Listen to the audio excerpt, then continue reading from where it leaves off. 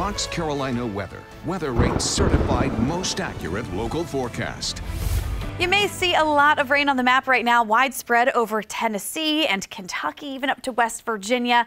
Locally, though, these showers are squeezing out over the Tennessee line. Barely a sprinkle near Bryson City, an isolated sprinkle near Asheville. Mount Mitchell seeing a little wintry mix in the highest peaks there, but all this moisture, it's actually moving away. It's, it's going to fizzle out over the Tennessee line, leaving us with some clouds at times, but generally dry weather. This afternoon looks great. You're even going to see some sun and a good bit of it through the day today today, which will have temperatures warming up.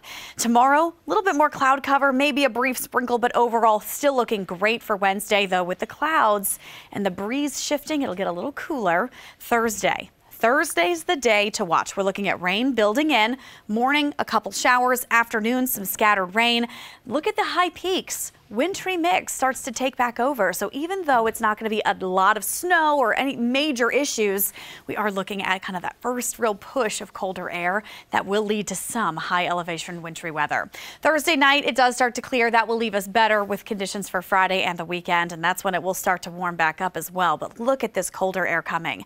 From the 60s to about 70 today, it drops into the 40s for Thursday. That's for the daytime highs. I'm not talking the morning. The morning will be in the 30s by then. So be prepared. The chill is coming. It's in the 40s to about 50 degrees right now for the upstate mountains in northeast Georgia. Today's a great day, 70 with sun and clouds. The mountains have a few more clouds with a high of just 60, but still feeling good for early November. Rating your day, the Carolina Sky Meter is back to a 9 out of 10. It's just that small mountain sprinkle that's keeping us away from perfect 10 weather. The World Series Game 6 is happening tonight down in Houston. It'll be mostly clear. Temperatures in the lower 70s with a light breeze. Really beautiful baseball weather. We'll see if they have to close that dome on the stadium, but it does look nice if they kept it open. No problems weather-wise there as well. Today, 70. Tomorrow, 55 degrees. Much cooler tomorrow afternoon.